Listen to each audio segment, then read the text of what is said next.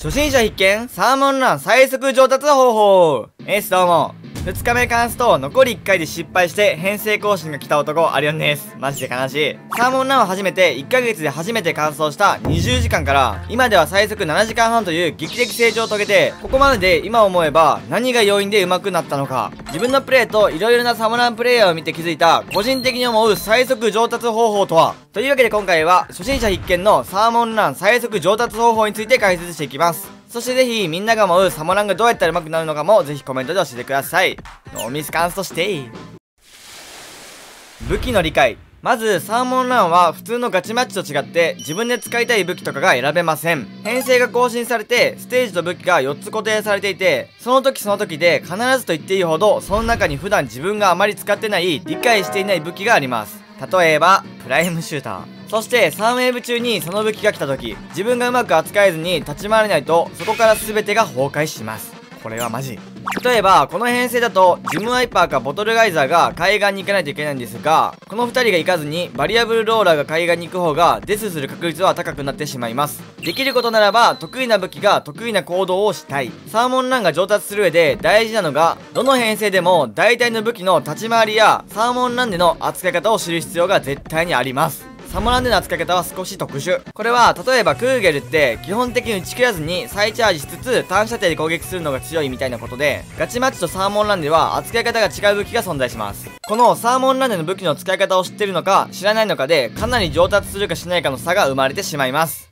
お勉強必須。あとは、その武器のインクが切れやすい武器なのか、一発のダメージは大体どれくらいで大物を処理できるのか、それくらいを知ってると効率よく処理できるようになって、さらに素早くノルマクリアまでいけるようになります。インク管理が苦手。武器の理解が必要なのはバイトチームコンテストやビッグランとかもその武器ごとの正しい立ち回りをしないと納品数はあまり伸びないしサーモンラにおいては武器の立ち回り方は必ず覚えておきましょう。個人的には1日にめちゃくちゃやり込むよりも毎日サモラをやりながら色々な武器を試しつつ試し打ち場とかで一発のダメージを見てると自然に武器の理解はできていきます。低火力武器が少し苦手。サモランデの中で強い武器と弱い武器と言われる武器があるんですが、これもサモランデの扱い方を知っている前提の強さなので、扱い方を知らないと最強武器が最弱武器に。怖い。処理優先度。その時々の武器編成によって倒さないとダメな苦手な大物や得意な大物があります。例えば射程が短い編成だと柱を処理するのがきつくて残しておくと後々コンテナ周りが崩壊します絶対に柱に苦しめられた人はいるはず。もちろん片パタワー鉄球みたいな三大外役大物はどの編成でも必ず優先して倒してください。ガチで強い。その時に自分が持っている武器の処理するのが得意な大物を優先して倒してあげる必要があります。射程が長い武器が柱処理を下からしてあげないと硬直が長い系の武器がマジできつい。本当に動けない。自分の武器が倒すのが得意なものを優先的に処理してあげましょう。あとはその時の編成で苦手なものはどの武器でもできるだけ早く倒してあげる。個人的には最近マジで柱が強い。あとはダイバーも地味に強い。上手い人のプレイを見る。これは個人的にはマジで大事だと思う。これってどのゲームでも同じだと思うんですけど上手い人のプレイを見てると自然となんか上手くなっていきます。なんでなんだろう。そしてあとはモチベが上がってサモンランに飽きない。自然と上手い人のプレイを見ていたらその時のプレイが自分がサモンランやってる時に参考になってくることも多いです。もちろん見ててサモランやらなかったら意味ないけどね。多分サモランがガチで上手い人の見てみるとわかるんですけど味方が弱いとか批判しているとかそもそももう自分が上手くないってことに気がつく。上手い人ってなんか視点移動がマジで綺麗。あのおすすめの上手い人教えてください。デスを減らす。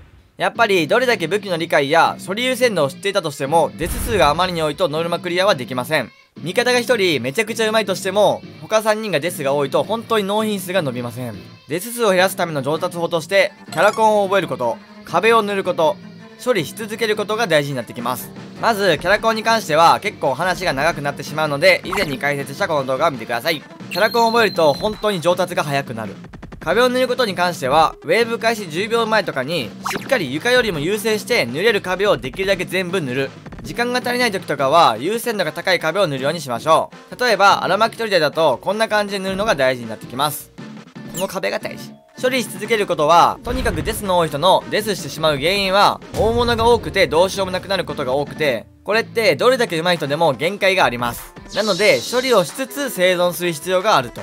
これが難しい。ここで大事になってくるのがスペシャルの使い方です。とりあえず荒れすぎる前に早めにスペシャルを打つこと。これだけは覚えてください。あと、小邪気は舐めるな。あいつがいっちゃん強い。小技を覚える。サーモンランには覚えることでうまく扱えると、処理速度が上がったり、生存力が爆上がりする小技がたくさんあります。使えることはあまりないとしても、覚えておくことで実践でいつか使えることも多いので、覚えておくだけで絶対に上達します。例えば、小技で有名なのは、肩パッドをボム1つで倒す肩パワンパンとかも、これがうまくできれば、インク回復をしてボムを2個投げなくても、1個のボムで倒すことができるので、処理速度が圧倒的に上がります。このチャンネルのショート動画とかで小技たくさん上げてるので見てみてください。サーモンランは座学。味方と行動を被せない。